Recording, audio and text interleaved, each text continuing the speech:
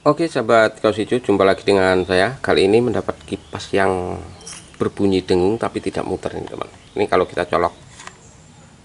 Nah, kemudian akan saya hidupkan. Di sini ada tombol. Nah loh, mau memutar. Dia hanya dengung saja.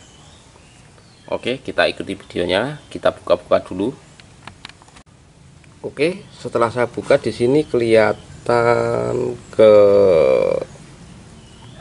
agak seret temen nih bekasnya sudah diminyaki klentek tahu minyak klentek minyak makan itu. Nah oke akan saya carikan uh, pembersih. Oke ini ada pembersih. Kita berikan semprot untuk melumasi daerah as. Ini terus kita putar-putarkan. Cuman kayaknya masih seret teman. Nah coba kita hidupkan. Sini kita tekan. Masih belum mau muter karena terlalu seret ini Oke akan saya buka. Oke setelah kita lepaskan bautnya kita lepas begini kemudian kita buka ini teman. Kita buka.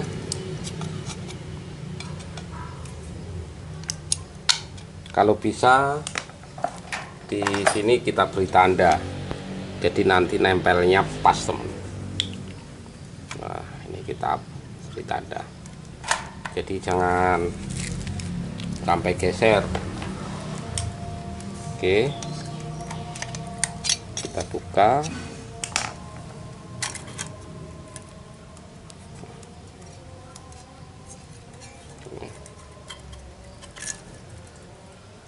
Ya.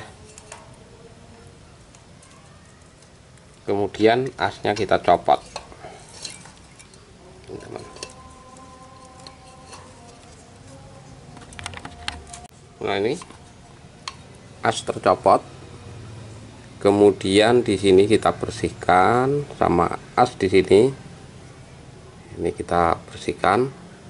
Bila perlu di amplas yang halus dan dikasih pelumas karena banyak debu-debu ini debu-debu kita bersihkan. Pokoknya kita bersihkan semua ini dengan as di sini dan kita beri pelumas nanti kita pasangkan lagi Oke, kalau sudah dibersihkan kita beri pelumas dua-duanya di sini. Kemudian kita pasangkan kembali. Nah, di sini teman. Kita pasang kembali. Kita masukkan ke sana hingga di sebelah sini juga perlu diberi pelupas ya. oke kita pasang-pasangkan. Oke setelah kita pasang-pasangkan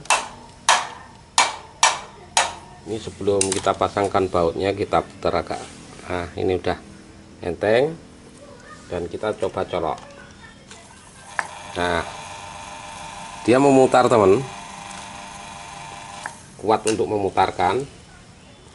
Tinggal kita baut-bautkan dan beri pelumas lagi. Nah. Oke kita pasangkan bautnya. Oke setelah pemasangan baut kita tes lagi. Masih memutar. Kemudian kita pasangkan kipasnya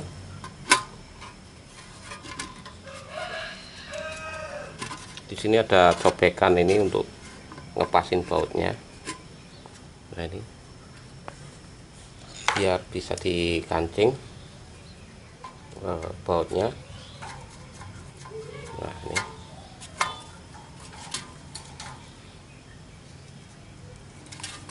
Oke. Ini baling-balingnya besi hati-hati. Jadi jangan terkena tangan. Kita coba lagi oke. Kipas pun sudah memutar dengan aman. Uh, tinggal memasangkan penutupnya. Nah ini. Ini mereknya sukses. Nih.